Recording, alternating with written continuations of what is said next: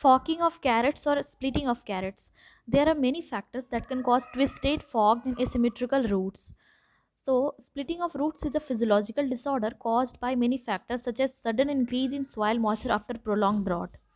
Second cause is compact or hard soil okay? Hard soil does not allow the straight growth of the taproot which result in formation of forked root.